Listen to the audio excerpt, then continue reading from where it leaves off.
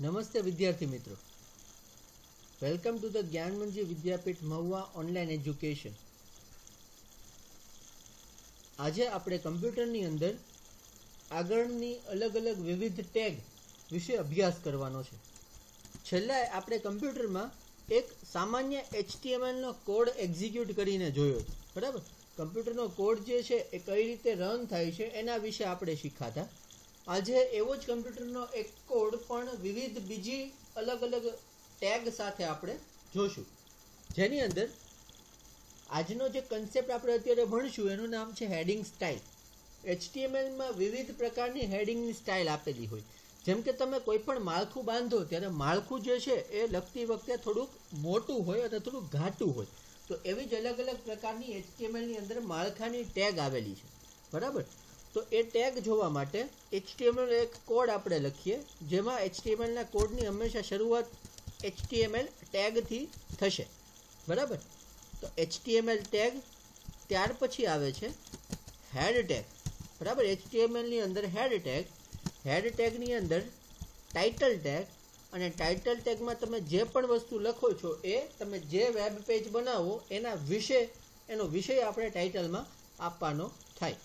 તો ટાઇટલ ટેગની અંદર વિષયમાં હું આપું છું હેડિંગ સ્ટાઇલ્સ બરાબર? આપણે અલગ અલગ હેડિંગના પ્રકારો જોવાના છે. વિવિધ હેડિંગ સ્ટાઇલ જે એચટીએમએલમાં આવેલી છે, બધી હેડિંગ સ્ટાઇલ જોવાની છે.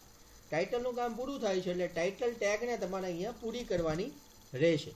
ટાઇટલ ટેગ પૂરી થયા પછી હેડ ટેગ પણ પૂરી થશે. આ બીજું કંઈ નથી, પણ આપણે જે માળખું છેલ્લે ગયા પ્રોગ્રામમાં જોયું છે, એ જ માળખું છે.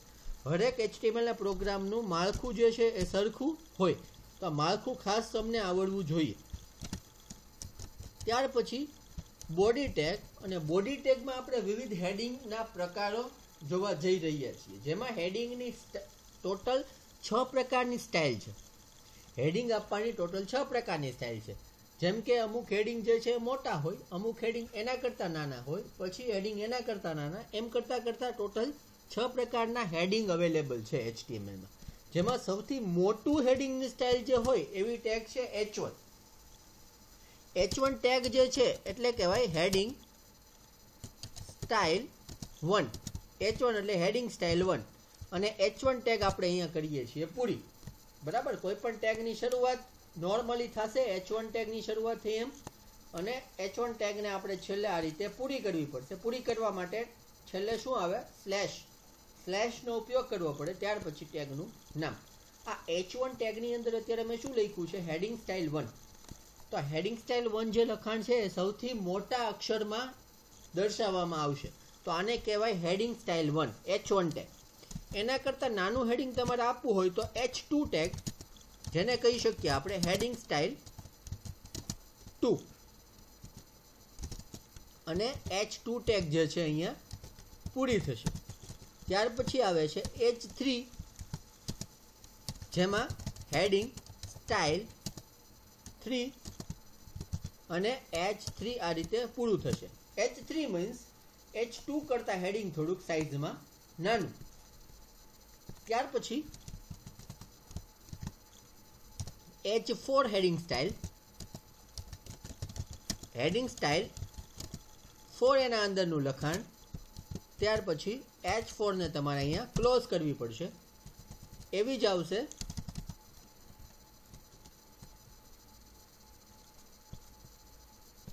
H five tag heading style five H five અને સૌથી છેલ્લી હેડિંગની સ્ટાઇલ જે છે, અને સૌથી નાનું હેડિંગની સ્ટાઇલ જે છે, એને કહેવાય એચ સિક્સ જેમાં સૌથી નાનું હેડિંગ દર્શાવવામાં આવે છે.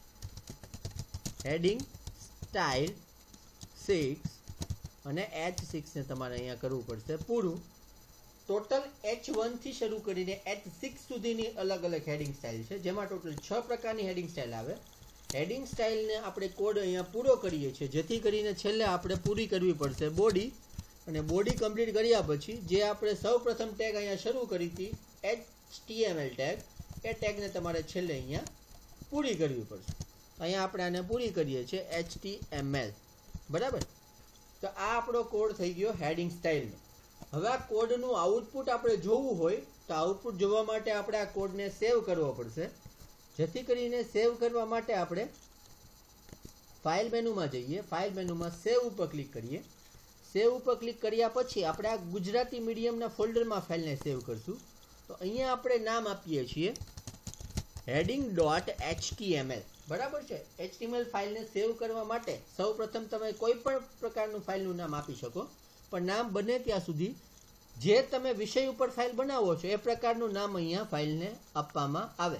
ત્યાર પછી તમારે કમ્પલસરી અહીંયા ડોટ કરીને એનું એક્સટેન્શન લખવું પડે, જેનું એક્સટેન્શન છે એચટીએમએલ અને કાં તો તમે એચટીએમ લખો તો પણ ચાલે. બરાબર? આપણે અહીંયા લખીએ છીએ ડોટ એચટીએમએલ અને આપણે આ ફાઇલને સેવ કરીએ છીએ. બરાબર? હવે આનું આઉટપુટ જોવા માટે, આનું રિઝલ્ટ જોવા માટે આ ફાઇલ આપણે જ્યાં સેવ કરી છે એ ડ્રાઈવમાં જઈએ. જેમ કે સી ડ્રાઈવ સી ડ્રાઈવમાં એચટીએમએલ એચટીએમએલમાં ગુજરાતી મીડિયમ અને અહીંયા આપણે આ ફાઇલને સેવ કરેલી છે. હવે આ ફાઇલને આપણે વેબ બ્રાઉઝરમાં જોશું. અને વેબ બ્રાઉઝર માટે આપણે ગૂગલ ક્રોમમાં જોઈએ. તો ગૂગલ ક્રોમ માટે ઓપન વિથમાં જશું. રાઇટ ક્લિક કરીને. અને ઓપન વિથમાંથી આપણે ગૂગલ ક્રોમને પસંદ કરશું. એટલે થોડી વારમાં ગૂગલ ક્રોમમાં આપણે આ ફાઇલનો કોડ આપણે આઉટપુટ જે છે, જોઈ શકશું. તો તમે અત્યારે અહીંયા આઉટપુટ જોઈ શકો છો. ટાઇટલમાં આપણે જે રીતે લખ્યું હતું એ રીતે આપણે કોડને પણ એકવાર જોઈએ. કોડમાં તમે જોશો તો ઉપર ટાઇટલની અંદર શું લખ્યું છે તમે? હેડિંગ સ્ટાઇલ્સ તો એ જ લખાણ અહીંયા ટાઇટલ બારમાં આવી ગયું. આ જે છે ગૂગલ ક્રોમ છે. જેની અંદર ટાઇટલ બારમાં હેડિંગ સ્ટાઇલ્સ આવી ગયું. આપણો પ્રોગ્રામનું નામ શું છે? હેડિંગ ડોટ એચટીએમએલ તો પ્રોગ્રામનું નામ તમને અહીંયા યુઆરએલમાં જોવા મળશે. અને અહીંયા આપણને કોડનું આઉટપુટ જોવા મળશે, જેને હું ઝૂમ કરું છું. જેમાં હેડિંગ સ્ટાઇલ વનથી શરૂ કરે અને હેડિંગ સ્ટાઇલ સિક્સ સુધીની અલગ અલગ પ્રકારની હેડિંગ સ્ટાઇલ છે. ખાસ તમારે યાદ એ રાખવાનું રહેશે કે એચ વન જે છે, એ સૌથી લાર્જ હેડિંગ સ્ટાઇલ પ્રોવાઈડ કરે છે. જ્યારે એચ સિક્સ જે છે, એ સૌથી નાની હેડિંગ સ્ટાઇલ પ્રોવાઈડ કરે છે. સૌથી મોટી હેડિંગ સ્ટાઇલ એચ વન અને સૌથી નાની હેડિંગ સ્ટાઇલ એચ સિક્સ બરાબર? એચ વન કરતાં એચ ટુ નાનું હશે. એચ ટુ કરતાં એચ થ્રી નાનું હશે. એમ કરતાં કરતાં એચ સિક્સ સુધીની ટોટલ અલગ અલગ પ્રકારની હેડિંગ સ્ટાઇલ છે. અહીં તમે બીજી એક વસ્તુ પણ ઓબ્ઝર્વ કરશો. હેડિંગ જે છે હંમેશા ઘાટા કલરમાં લખાયેલા આવશે. બરાબર? આ જે છે હરેક હેડિંગ એ હંમેશા ઘાટા કલરમાં લખાયેલા છે. બરાબર? આ જે છે, એ કોડ આપણે રન કર્યો. એ હેડિંગ સ્ટાઇલનો કોડ હતો. હવે મેં તમને પહેલાં જ તે વીડિયો લેક્ચરમાં એવું કહેલું હતું કે તમે કોઈ પણ પ્રકારનો કોડ અત્યારે તો હું કમ્પ્યુટરમાં આ કોડને એક્ઝિક્યુટ કરું છું, પણ તમે તમારા ઘર બેઠા પણ આ કોડને રન કરી શકો. જેના માટે ઓનલાઈન ઘણા એચટીએમએલના એડિટર્સ અવેલેબલ છે. બરાબર? તો એ એડિટર આપણે હવે જોઈએ કે તમે આ કોડ ઘર બેઠા કઈ રીતે રન કરશો?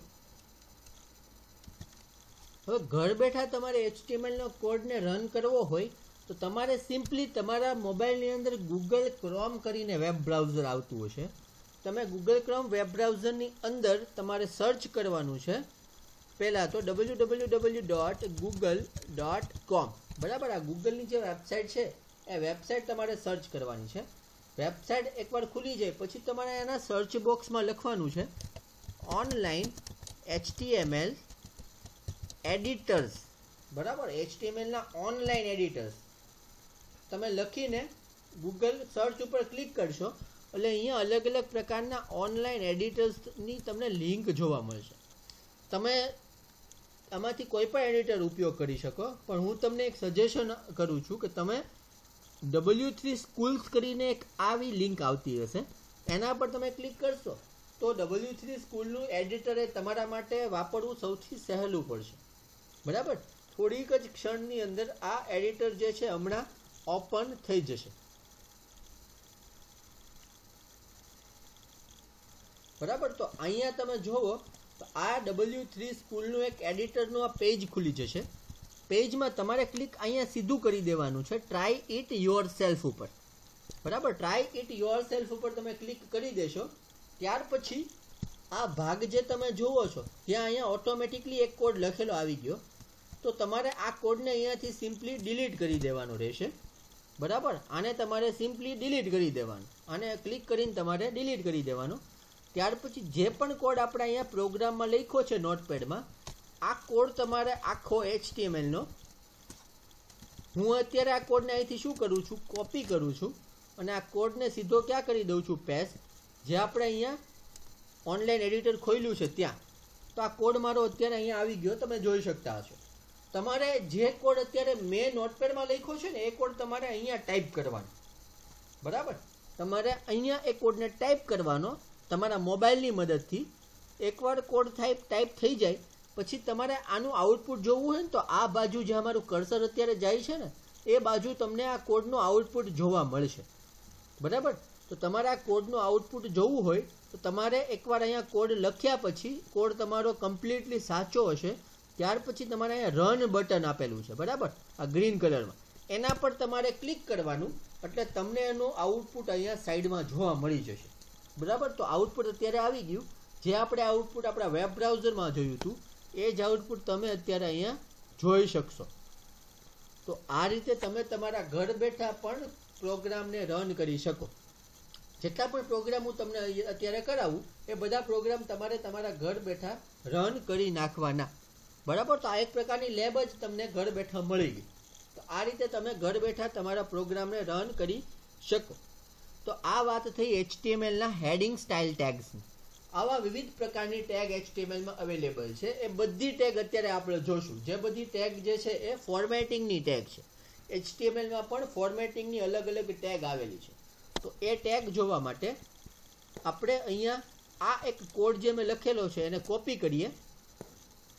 અને એક નવો જ અત્યારનું કોડ બનાવું છું, જેમાં આપણે અલગ અલગ એચટીએમએલની વિવિધ ટેગ જોશું. અને અહીંયા એનું ટાઇટલ જે છે બદલી દઉં છું. ટાઇટલમાં અહીંયા હું એનું ટાઇટલ આપું છું. ટેગ્સ ઇન એચટીએમએલ એટલે એચટીએમએલમાં અલગ અલગ પ્રકારની ઘણી બધી ટેગ આવેલી છે. ટેગ આપણે અત્યારે જોવા જઈ રહ્યા છીએ. જેમાં સૌ પ્રથમ આ માળખું જે છે ને એ કોમન જ હશે એટલે તમારે માળખું તો પહેલા લખી જ નાખવાનું. અને એનો વિષય અહીંયા ટાઇટલની અંદર આપી દેવાનો. ત્યાર પછી સૌ પ્રથમ આપણે એચટીએમએલની ફોર્મેટિંગ ટેગમાં જોઈએ. એ ટેગ છે પી પી ટેગ એટલે કે પેરેગ્રાફ ટેગ એચટીએમએલની અંદર તમારે કોઈ પણ, કેમ તમે બુકની અંદર પેરેગ્રાફ લખો? એમ જ તે એચટીએમએલની અંદર પણ તમે પેરેગ્રાફ દર્શાવી શકો. તો એ પેરેગ્રાફ દર્શાવવા માટેની ટેગ છે, જેનું નામ છે પી ટેગ પી ટેગમાં અહીંયા તમે કોઈ પણ પ્રકારનો પેરેગ્રાફ લખી શકો. જેમ કે હું અત્યારે સામાન્ય રીતે એક પેરેગ્રાફ લખું છું. ધીસ ઇઝ પેરેગ્રાફ બરાબર? પછી આને જ કોપી કરી દઉં, એટલે કે મારે વધારે પડતી લખાણ જે છે ટાઈપ ન કરવું પડે. અને આને જે છે એ હું અહીંયા કોપી પેસ્ટ કરીને થોડીક લાઈનમાં અહીંયા લખી નાખી. બરાબર? આટલો મારો પેરેગ્રાફ થયો. હવે જેવો પેરેગ્રાફ આપણો પૂરો થાય, એવું તમારે છેલ્લે અહીંયા શું કરવાનું રહેશે? પી ટેગને પૂરી કરી દેવાની રહેશે. એટલે આપણો પહેલો પેરેગ્રાફ અહીંયા પૂરો થઈ ગયો. સમજાય છે? પી ટેગ શરૂ કરવાની, ત્યાર પછી પી ટેગને અહીંયા પૂરી કરી દેવાની. હવે આ પહેલો પેરેગ્રાફ આખો આપણે લખ્યો. હવે આવો મારે બીજો જ પેરેગ્રાફ ફરીથી બનાવવો હોય, તો અહીંયા બનાવી શકું. ફરીથી હું અહીંયા એન્ટર મારું છું. બરાબર? પાછા આપણે નવી લાઈનમાં આવી જઈએ. અહીંયા હું ફરીથી એક પી ટેગ લઉં છું. એટલે કે આ મારો બીજો પેરેગ્રાફ જેમ તમે બુકમાં કેમ પેરેગ્રાફ લખો, એમ જ અહીંયા મારો બીજો પેરેગ્રાફ એમાં હું લખું ધીસ ઇઝ સેકન્ડ પેરે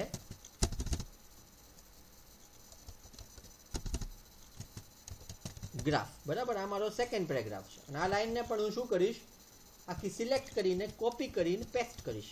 બરાબર? હવે મારો બીજો પેરેગ્રાફ ખાલી આટલો જ છે, એક જ લાઈન તો બસ, આ પેરેગ્રાફ પૂરો થઈ ગયો અને પી ટેગને તમારે કરી દેવાની પૂરી. બરાબર? તો આપણો બીજો કોડ છે, જેની અંદર આપણે પહેલી ટેગ જોઈ, જેનું નામ છે પી ટેગ હવે પી ટેગનું આઉટપુટ તમારે જોવું હોય, તો આપણે જે સેમ પ્રોસેસ કરી હતી એ જ પ્રોસેસ કરવાની. ફાઇલ મેનુમાં જઈને તમારાને સેવ કરવાનું. સેવ કરતી વખતે આપણે આ જે છે અલગ અલગ ટેગ જોઈએ છીએ એચટીએમએલની તો અહીંયા હું નામ આપું છું ટેગ્સ ડોટ એચટીએમએલ બરાબર? ટેગ્સ ડોટ એચટીએમએલ પછી આને હું અહીંયાથી કરી દઉં છું સેવ પછી આનું આઉટપુટ જોવા માટે ટેક્સ કરીને ડોટ એચટીએમએલ ફાઇલ આવી ગઈ, જેને આપણે રાઈટ ક્લિક કરીશું, જમણી ક્લિક કરીશું ઓપન વિથમાં જશું અને ગૂગલ ક્રોમ ઉપર ક્લિક કરીશ એટલે અહીંયા આપણો બે પેરેગ્રાફ તમે અત્યારે આઉટપુટમાં જોઈ શકશો. બરાબર છે? આપણા ટોટલ બે પેરેગ્રાફ છે, જે આપણને આપણે ટૂંકમાં અહીંયા આની પેજની સાઇઝ લાંબી હોય, એટલે એક આખે આપણે જેટલું ટાઈપ કર્યું હતું એ આખું અહીંયા આવી ગયું. પહેલો પેરેગ્રાફ પૂરો થાય છે, પછી તમે જોશો તો અહીંયા થોડીક લાઇન છોડવામાં આવશે. ત્યાર પછી બીજો પેરેગ્રાફ શરૂ થશે. બરાબર? અત્યારે આપણે અહીંયા એક જ લાઈનમાં બધું આવી ગયું, કારણ કે આની સાઇઝ થોડીક મોટી હોય પેજની સમજાય છે? તો આ રીતે પેરેગ્રાફ ટેગનો તમે ઉપયોગ કરી શકો. તો આપણે જોઈ પહેલી ટેગ ત્યાર પછીની બીજી ટેગ આપણે જોવા જઈએ. જેનું નામ છે બીઆર ટેગ બીઆર એટલે કે બ્રેક લાઇન એટલે કે ન્યૂ લાઇન હવે પેરેગ્રાફ ટેગ જે છે, એમાંથી હું પેલો જે મોટો પેરેગ્રાફ છે ને, એનું અત્યારે ડિલીટ કરી નાખું છું, કારણ કે એની હવે જરૂરિયાત નથી. તમને ખ્યાલ આવી ગયો હશે. એક પેરેગ્રાફ ટેગ છે, ત્યાર પછી એક બીજી વસ્તુ અહીં લખું છું. ધીસ ઇઝ ખાલી આટલું લખ્યું. પછી એન્ટર મારીને નીચે જ લખું છું. મારું નામ. બરાબર? ધીસ ઇઝ અભય હવે તમે, આપણે આ પ્રોગ્રામને સેવ કરીએ. એકવાર તો સેવ કરેલો જ છે ટેક્સ ડોટ એચટીએમએલ તમે જોઈ શકશો. પછી એમાં ને એમાં કંઈક ચેન્જીસ કરો ને તો તમારે આને ફરીથી સેવ કરવાનો ન રહે. તમારે શું કરવાનું? ફાઇલ મેનુમાં જઈને સેવ ઉપર ક્લિક કરી દેવાનું. એટલે આ ફાઇલ જે છે સેવ થઈ જાય. અને આ ફાઇલ જે આપણે અહીંયા બ્રાઉઝરમાં રન કરી હોય ને, તેની ઉપર અહીંયા રીલોડ નામનું બટન આવે. તમારે એના પર ક્લિક કરી દેવાનું. એટલે તમે અહીંયા આઉટપુટ જોઈ શકો. તો આઉટપુટ તમે જોશો ને તો અહીંયા જો ધીસ ઇઝ અભય એ લખેલું આવી તો ગયું. પણ એ બધું એક જ લાઈનમાં આવ્યું. અહીંયા તમે જુઓ તો આપણે કોડમાં શું કર્યું? કોડમાં તો આપણે આને બે લાઈનમાં લખ્યું. ધીસ ઇઝ પછી નીચે અભય. પણ અહીંયા નીચે અભય નો આવ્યું. અભય તો જે છે સિંગલ લાઈનમાં જ આવ્યું. એટલે એચટીએમએલ જે છે એ ઇનલાઇન પ્રકારનું કાર્ય કરે છે. એટલે કે તમે જે પણ લખાણ અહીંયા ગમે એટલા એન્ટર આપીને લખો, પણ બધું લખાણ એક જ લાઈનની અંદર દર્શાવે. તો તમારે શું કરવાનું? ધારો કે તમે અહીંયા એક આખું લખાણ લખો છો. ધારો કે અહીં લખ્યું છે ધીસ ઇઝ પછી મારે અભયને નીચે લાવવું છે. તો જે લાઈનને તમે પૂરી કરી દેવા માંગતા હો, ત્યાં તમારે આ રીતે બીઆર કરીને એક ટેગ આવે. તમારે એ ટેગ લખી નાખવાની. ત્યાર પછી જે પણ લખાણ છે ને, એ બધું લખાણ ક્યાં આવશે? નવી લાઈનમાં આવશે. એટલે બીઆર ટેગ શું કરે? લાઈનને બ્રેક કરે અને બાકીની ત્યાર પછી જે પણ લખાણ હોય એને નવી લાઈનથી શરૂ કરે. હવે આપણે આને ફરીથી સેવ કરીએ. અને આને ફરીથી રીલોડ કરીએ તો તમે જોઈ શકો ધીસ ઇઝ અભય. તો અભય હવે નવી લાઈનમાં આવી ગયું. ફરીથી એક વસ્તુ જોઈએ, આપણે આને બધાને ડિલીટ કરી નાખીએ. અહીંયા હું લખું છું ધીસ ઇઝ પછી અહીંયા લખું છું બી આર અને અહીંયા લખું છું, અભય. તો શું થશે? ધીસ ઇઝ એક લાઈનમાં આવશે. બી આર પછીનું લખાણ શું છે, અભય? તો અભય ક્યાં આવશે? બીજી લાઈનમાં. અને હું શોર્ટકટથી સેવ કરું છું? કંટ્રોલ એસથી અને ફરીથી આને આપણે અહીંયા રીલોડ કરીએ. બરાબર? તો ધીસ ઇઝ અભય. અભય નવી લાઈનમાં આવી ગયું. સમજાય છે? આને કહેવાય B R tag B R ટેકથી line break થાય અને નવી લાઈનમાં પછીનું લખાણ તમે દર્શાવી શકો. હવે ત્યાર પછીની એક ટેગ છે, જેનું નામ છે પ્રી ટેગ પ્રી ટેગનો ઉપયોગ દર્શાવતા પહેલાં એક વસ્તુ આપણે અહીંયા જોઈએ. હું અહીં લખું છું ધીસ અહીં લખું છું સપોઝ એ પછી એન્ટર મારી નીચે લખું છું બી બરાબર, અહીં થોડીક જગ્યા છોડી દઈએ. પછી અહીંયા લખું છું સી. પછી અહીંયા લખું છું ડી. બરાબર, હવે અહીંયા એબીસીડી મેં આમને લખ્યું, અલગ અલગ લાઈનમાં પણ મને જોવા ક્યાં મળશે? બધી વસ્તુ એબીસીડી એક જ લાઈનમાં જોવા મળશે ને? કેમ કે મેં અહીંયા બીઆર ટેગનો ઉપયોગ નથી કર્યો. એટલે આપણે આને રીલોડ કરીએ. તો એબીસીડી ક્યાં આવી ગયું? અહીંયા બધું એક જ લાઈનમાં આવી ગયું. બરાબર? અહીંયા અભય પછી હું ધારો કે બીઆર આપી દઉં. અને સેવ કરું અને આને આપણે રિલોડ કરીએ. તો એબીસીડી નીચે આવી ગયું, પણ એબીસીડી તો બધું એક જ લાઈનમાં આવ્યું. અને અહીં નોટપેડમાં તો આપણે કેમ લખ્યું છે? અલગ અલગ લાઈનમાં લખ્યું છે ને બધું. તો આ બધી વસ્તુ જે છે, એક જ લાઈનમાં આવી જોઈએ ખરેખર. તો એક જ લાઈનમાં આવ્યું. પણ ખરેખર મારે શું કરવું છે? એબીસીડી જેવું હોય હું નોટપેડમાં લખું ને એવું જ મારે આઉટપુટમાં જોવું છે. તો એક ટેગનો ઉપયોગ થાય, જેનું નામ છે પ્રી ટેગ સૌ પ્રથમ તમારે પ્રી ટેગ લખી નાખવાનું. ત્યાર પછી તમે જ્યારે એ બી સી ડી પછી ધારો કે ઈ લખીએ, પછી આને આપણે અહીંયા ક્લોઝ કરી દઈએ પ્રી ટેગને તો પ્રી ટેગનો ઉપયોગ એવો થાય કે તમે પ્રી ટેગની અંદર જે પણ તમે લખાણ જેવી રીતે દર્શાવો, જેમ કે અહીંયા એન્ટર મારીને બી બી નવી લાઈનમાં છે સી નવી લાઈનમાં છે ડી નવી લાઈનમાં છે, અને ઈ નવી નવી લાઈનમાં છે. તો આમાં તમે પ્રી ટેગનો ઉપયોગ એવો થાય કે વારંવાર તમારે બીઆર અહીંયા દર વખતે લખવું ન પડે એટલા માટે પ્રી ટેગથી તમે જેવું પણ નોટપેડમાં તમે જેવું લખાણ દર્શાવો, એવું જ લખાણ તમને બ્રાઉઝરમાં જોવા મળે. તો આ પ્રી ટેગ અત્યારે મેં લખ્યું છે, તો બ્રાઉઝરમાં એબીસીડી જે છે, એ કેમ આવશે? બધી વસ્તુ નવી લાઈનમાં લખેલી આવશે. અને આપણે રિલોડ કરીએ. ખ્યાલ આવે છે? તો એ બી સી ડી ઈ આ બધું નવી લાઈનમાં આવી ગયું. અને બધું જે છે, આગળ તમે જોશો તો આટલી જગ્યા છૂટેલી છે. બરાબર? તો અહીંયા પણ તમને આગળ અહીંયા આટલી જગ્યા જોવા મળશે. ખ્યાલ આવે છે? તો આ થઈ પ્રી ટેગ પ્રી ટેગમાં જેવું તમે નોટપેડમાં લખો, એવું જ તમને પ્રી ટેગમાં આઉટપુટ જોવા મળે. તો આ વાત થઈ પ્રી ટેગની હવે આપણે આટલી ટેગ તો જોઈ છે. તમે તમારી બુકમાં આ ટેગ જે છે એ બધી આ પ્રોગ્રામ પૂરો થાય એટલે લખી લેજો. બરાબર? હવે ત્યાર પછીની બહુ ઇન્ટરેસ્ટિંગ ટેગ આવે છે. તમે માઇક્રોસોફ્ટ વર્ડમાં જોયું હશે બોલ્ડ ઇટાલિક અંડરલાઇન તો તમારે પણ જે આ વેબ બ્રાઉઝરમાં આપણે પ્રોગ્રામ રન કરીએ છીએ, એમાં લખાણને ઘાટું, ત્રાસું અને નીચે અંડરલાઇન જોવી હોય, તો એની માટેની ટેગ છે. બોલ્ડ માટેની ટેગ છે, જેનું નામ છે બી ટેગ બરાબર? બી ટેગથી કોઈ પણ લખાણ જે છે, એ કેવું થાય? ઘાટું થાય. આ બી ટેગની અંદર તેનું લખાણ લખું છું, પણ એ પહેલાં એક સામાન્ય તમને એનો ભેદ કહી દઉં. સપોઝ અહીંયા લખું છું ધીસ ઇઝ પછી અહીંયા બી ટેગની શરૂઆત કરું છું. અને અહીંયા લખું છું બોલ્ડ પછી અહીંયા બી ટેગ જે છે એને તમારે પૂરી કરી દેવાની. બરાબર? બી ટેગ એ કેવી છે? જોડીવાળી ટેગ તો બી ટેગ આપણે શરૂ ક્યાં કરી? અહીંયા. અને બી ટેગની વચ્ચે જે મેં ખાલી લખ્યું છું બોલ્ડ અને બી ટેગને અહીંયા હું શું કરું છું? પૂરી કરી દઉં છું. તો બી ટેગ વાળું લખાણ જે છે કેવું આવશે? ઘાટું આવશે. અને આ લખાણ જે છે કેવું આવશે? સામાન્ય આવશે. તો આ પ્રોગ્રામને આપણે કંટ્રોલ એસથી સેવ કરીએ. અને એનું આઉટપુટ આપણે જોઈએ. આવી ગયો અહીંયા ધીસ ઇઝ બોલ્ડ બોલ્ડ એટલે બોલ્ડનું લખાણ કેવું આવી ગયું? ઘાટું. કારણ કે એને આપણે બી ટેગની અંદર લખેલું હતું. ત્યાર પછી આવી જ એક ટેગ છે. This is I tag italic બરાબર? આઈ એટલે ઇટાલિક અને આઈ ટેગને પણ શરૂ કરીને તમારે છેલ્લે શું કરવું પડે? પૂરી કરવી પડે. કેમ કે આ જોડીવાળી ટેગ છે. આઈ ટેગ એટલે શું? તો કે ઇટાલિક ઇટાલિક એટલે ત્રાસુ. કોઈ પણ લખાણ જે હોય એને ત્રાસુ દર્શાવવા માટે આપણે આઈ ટેગનો ઉપયોગ કરીએ. તો આઈ ટેગ જે છે, એ આઈ ટેગની મદદથી શું થાય? લખાણ જે છે ત્રાસુ આવે, તો અહીંયા ઇટાલિક જે લખ્યું છે, કેવું આવશે? ત્રાસુ આવશે. આને હું સેવ કરી દઉં, અને સેવ કર્યા પછી આપણે આ પેજને અહીંયા રીલોડ કરીએ. તો તમે અહીંયા જોઈ શકશો, તો લખાણ આઈટેગનું કેવું આવ્યું? ત્રાસું આવ્યું. પણ આને આપણે થોડુંક વધારે ઇન્ટરેસ્ટિંગ બનાવીએ. અહીંયા બી ટેકનું કામ પૂરું થઈ જાય ને, પછી આપણે અહીંયા બીઆર આપી દઈએ. એટલે શું થશે, આ આઈટેકવાળી આખી લાઈન છે ને, એ નવી લાઈનમાં તમને જોવા મળશે. નવી લાઈનમાં દર્શાવવામાં આવશે. બરાબર? તો આ વાત થઈ આઈટેગની આઈટેગની અંદર આને સેવ કરીએ અને ફરીથી આપણે આને રન કરીએ. બરાબર? તો ધીસ ઇઝ ઇટાલિક હવે તમે આ ઇટાલિક જે લખ્યું છે ને, એ તમે જોશો તો આ થોડુંક ત્રાસું છે. અને બાકીનું જે છે નોર્મલ હશે ધીસ ઇઝ બરાબર? આ વાત થઈ ઇટાલિકની ઇટાલિકનું કામ પૂરું થાય છે, એટલે આપણે અહીંયા ફરીથી બિયર આપી દઈએ, જેથી કરીને નવી લાઈન જોઈ શકીએ. હવે અહીંયા ધીસ ઇઝ નવી ટેગ જેનું નામ છે યુ યુ એટલે અંડરલાઈન ધીસ ઇઝ અંડરલાઈન અને અહીંયા આપણે યુ ટેગ જે છે એને પૂરી કરી નાખીએ. બરાબર? આને થોડાક લખાણને આપણે લઈ લઈએ આગળ.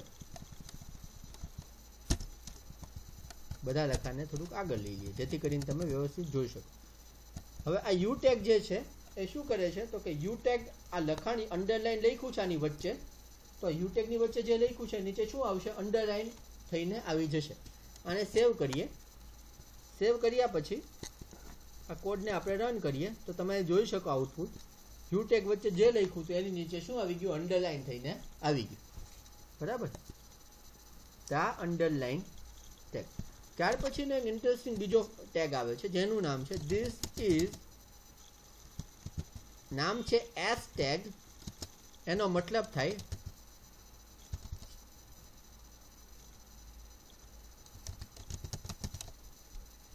સ્ટ્રાઇક થ્રુ બરાબર? સ્ટ્રાઇક થ્રુ સ્ટ્રાઇક થ્રુ એટલે કે શું?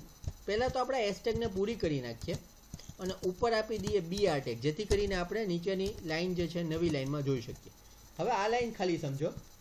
ધીસ ઇઝ એટલે નોર્મલ એક લાઇન આવશે.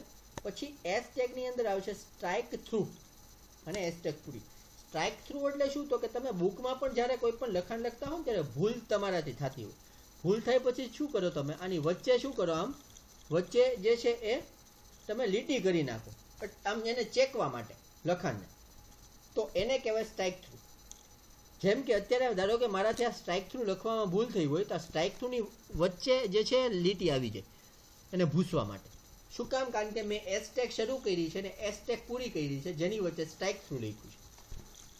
જેનું આઉટપુટ આપણે અત્યારે જોઈએ. તો આઉટપુટની અંદર તમે જોશો અને આપણે રિલોડ કરીએ. તો અહીંયા સ્ટ્રાઇક થ્રુની વચ્ચે આમ લાઈન આવી ગઈ. બરાબર? એટલે એને આપણે ભૂસ્યું છે એને ઇરેઝ કર્યું છે, કારણ કે ભૂલથી લખાઈ ગયું હતું. તો આને કહેવાય સ્ટ્રાઇક થ્રુ બરાબર? એની માટે એસ ટેગનો ઉપયોગ થાય. એસ ટેગ કમ્પ્લીટ થાય છે એટલે અહીંયા આપણે યુઝ કરીએ બીઆર ટેગ એટલે નવી લાઈન જોઈ શકીએ. બરાબર? હવે અહીંયા નવી ટેગ આવે છે, જેનું નામ છે ધીસ ઇઝ ટીટી ટેગ ટીટીનું પૂરું નામ થાય ટાઈપ રાઇટર બરાબર? પહેલાના સમયમાં ટાઈપ રાઇટર આવતા ને, તો ટાઈપ રાઇટરમાં જે પણ લખાણ દર્શાવવામાં આવે, એ લખાણ કેવું જોવામાં આપણને કેવું લાગે? તો એ તમારે જોવું હોય તો ટીટી ટેગની વચ્ચે તમે જે લખાણ લખો, એ લખાણ ટાઈપરાઇટરમાં ટાઈપ થયેલા ટેક્સ્ટના લખાણ જેવું જોવા મળે. તો ટીટીની અંદર હું લખું છું અહીંયા ટાઈપ રાઇટર બરાબર? અને અહીંયા ટીટી ટેગને કરી દઉં છું પૂરી. આ પણ જોડીવાળી ટેગ છે. હવે તમે જોશો તો આ એક સામાન્ય લખાણ તમને દેખાશે આઉટપુટમાં અને ટાઈપ રાઇટર વચ્ચે મેં ટાઈપ રાઇટર લખ્યું આ, એ લખાણ થોડુંક ટાઈપરાઇટર મશીનમાં જે રીતે લખાણ લખવામાં આવે એવું જોવા મળશે. આનું આઉટપુટ આપણે જોઈએ. રિલોડ કરીએ. બરાબર? તમે જોશો અને ઝૂમ કરું તો તમને વધારે આઈડિયા આવશે.